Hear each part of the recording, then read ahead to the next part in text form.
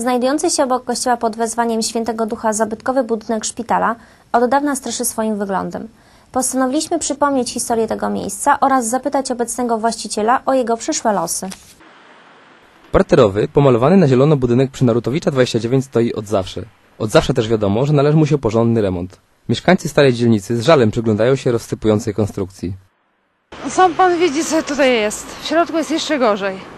Więc myślę, że coś trzeba z tym zrobić, jakoś zagospodarować, żeby coś tutaj takiego ciekawego można było zrobić.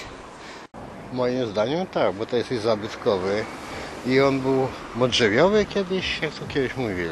No to czy to tak trudno wy- wyremontować? To jest moim zdaniem. Późnobarokowy budynek spełniał niegdyś rolę szpitala, będącego integralną częścią kościoła Świętego Ducha.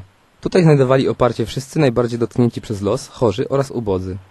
Kościół Świętego Ducha, z którym związany też był Szpital Świętego Ducha, yy, przypominają o tym, że tutaj właśnie do Kraśnika zawitała taka ogólnokościelna tradycja wywodząca się z samego Watykanu, ze stolicy chrześcijaństwa zachodniego, gdzie przy mm, Bazylice Świętego Piotra, niedaleko od tego miejsca, znajduje się szpital, yy, również pod wezwaniem czy imieniem yy, Ducha Świętego.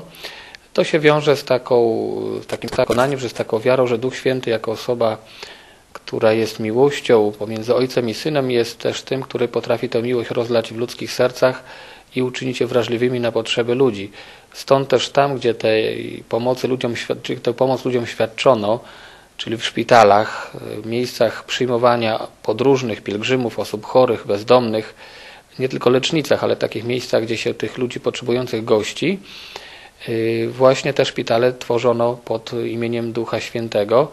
Takich szpitali i takich kościołów związanych z tymi szpitalami na świecie jest bardzo dużo. One wszystkie jakby odsyłają do tego centralnego w Rzymie.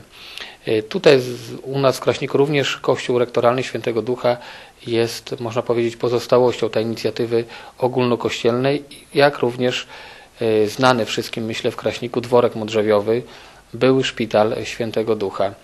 Y, Na pierwszy rzut oka trudno uwierzyć, że wnętrza szpitala, jego obiekty i dekoracje przetrwały w niemal niezmiennym stanie od drugiej połowy XVIII wieku. Budynek pozostaje w rękach prywatnych. Z uzyskanych informacji możemy jednak wnioskować, że wkrótce ruszy proces jego renowacji. No nie jest tajemnicą, że ten dworek y, wy- wymaga remontu, ale z tego co wiem, to właśnie y, aktualny właściciel tej posesji podjął działania służące temu, żeby budynek y, odrestaurować, odnowić.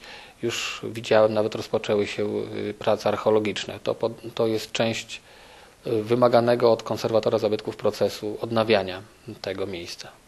Obecna właścicielka zapewnia, że zależy jej na przywróceniu do ładu zabytkowego budynku. Prace konserwatorskie wymagają czasu. Więcej na temat losów dawnego szpitala będziemy mogli dowiedzieć się dopiero za kilka miesięcy.